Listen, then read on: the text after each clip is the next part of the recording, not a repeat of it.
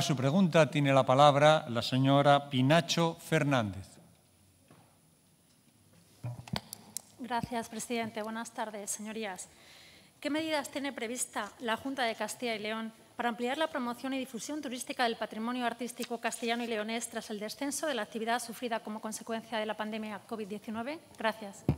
Gracias. Para contestar, tiene la palabra el consejero de Cultura y Turismo, el señor Ortega Álvarez.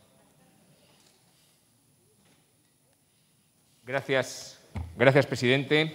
Señoría, querida señora Pinacho, 2021 va a ser el año, sin lugar a dudas, del patrimonio cultural de nuestra comunidad asociado a su promoción turística. Un patrimonio, en sus múltiples formas, que va a protagonizar el calendario de las grandes citas culturales de este verano en la comunidad y de, sobre todo, también de la campaña de promoción turística. Si quieren mi segunda intervención, le relato y le describo las reacciones que vamos a realizar. Muchas gracias. Gracias. Para un turno de réplica tiene la palabra la señora Pinacho Fernández. Gracias, presidente. Bien, señor consejero, señor Ortega.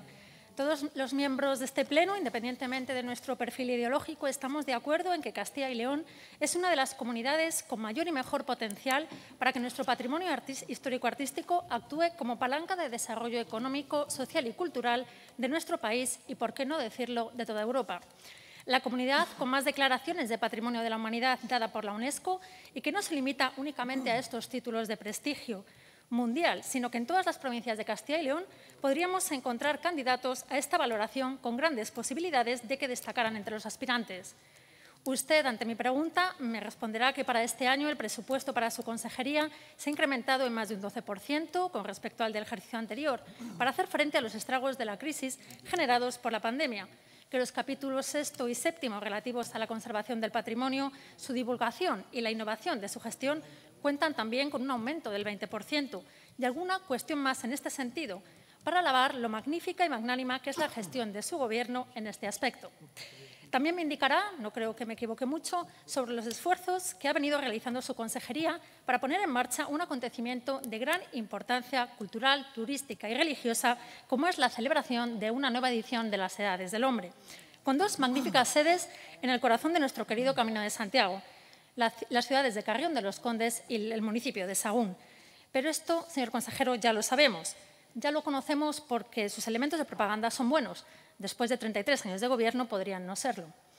Bien, lo que sucede, señor Ortega, es que en Vox somos un partido de calle, de contacto con los ciudadanos, con el turista, con el viajero que viene a conocer nuestra tierra, a admirar y contemplar nuestra riqueza, que es mucha, a demandar una serie de servicios y garantías que hagan que la preparación cuidadosa, meticulosa y muchas veces irremediablemente selectiva de nuestro patrimonio no se venga al traste por cuestiones pequeñitas, tan pequeñas como la de encontrarse nuestros monumentos cerrados o no accesibles. Es el caso, y es también el de otros muchos, pero concretamente es lo que está sucediendo con el románico palentino, sobre todo en su ruta norte, pero también es el caso de otros muchos atractivos patrimoniales con los que cuenta nuestra comunidad.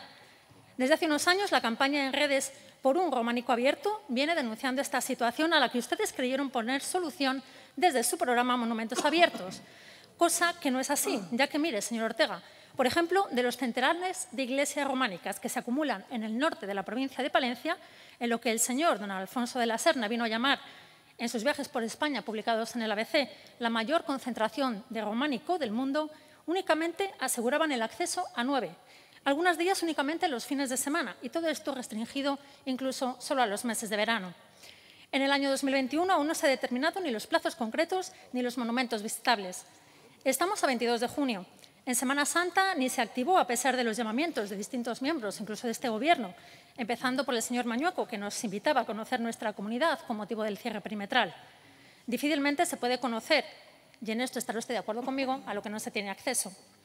¿Realmente cree que todo el esfuerzo que debo entender que hacen desde su consejería para la promoción del patrimonio, con sus millones, sus presupuestos, sus planes de medios, sus ferias y sus promociones, tiene como resultado que un madrileño, un vasco, un asturiano, un andaluz que quiera conocer una de las perlas de nuestra herencia cultural, como puede ser el románico palentino, no pueda hacerlo porque no sabe si podrá encontrarlo abierto y si lo hace quizá tendrá que limitarse a visitarlo en los meses de verano o en fin de semana, cuando usted sabe perfectamente que precisamente los meses de mayor ocupación en nuestra comunidad no son ni julio ni agosto.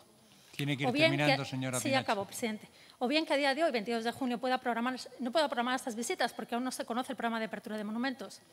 Bien, señor Ortega, desde el afecto personal que yo le tengo y por el bien, además, de nuestro inestimable patrimonio, quiero decirle que deben de ponerse las pilas en lo pequeño. No pueden crear castillos en el aire si no atienden a lo que desde Vox demandamos continuamente, que es muy sencillo, el sentido común. Y que aquello que podemos de- vender, que dicen vender, y que además tiene demanda, tiene que estar cuanto menos disponible para los ciudadanos. De lo contrario, todo su esfuerzo y todo su gasto, desgraciadamente, me temo que no habrá servido para nada. Muchas gracias.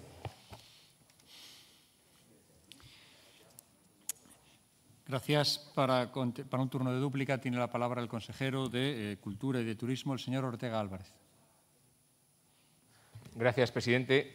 Desde luego, señoría, señora Pinacho, no puedo estar más de acuerdo con usted en que el patrimonio es uno de los motores de dinamización económica y social de esta comunidad. Habla usted de millones, habla usted de inversiones, habla usted de incremento del presupuesto y es cierto, y denuncia también unas cuantas cuestiones. Pero déjeme en primer lugar eh, que, le, que le cuente o que le relate qué es lo que queremos hacer este verano, qué vamos a hacer, y luego le contesto a la siguiente cuestión. En primer lugar, tenemos la celebración del Año Santo Jacobeo con una cantidad inmensa seria de intervenciones y de actividades en torno al Camino de Santiago que, desde luego, aprovechando ese patrimonio, va a ayudar a dinamizar todas estas poblaciones por las que atraviesa.